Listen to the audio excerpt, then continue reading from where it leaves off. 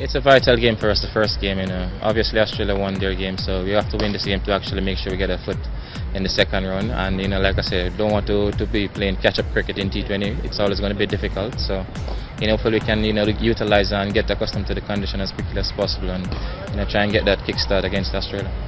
They're they're a good all-round team to be honest with you. Um, you know the top of the order you have Watson and Warner. They're, those those guys are you know vital for their team. Um, you know like I say, once we can you know get you know one of them early, um, you know then we'll actually look to can you know get into our middle order and try and squeeze them as much as possible. Um, the bowling department, you know they're very organized as well. You know you have Starc and you know Watson with the top of the top of the order and you know spinner Hoggy.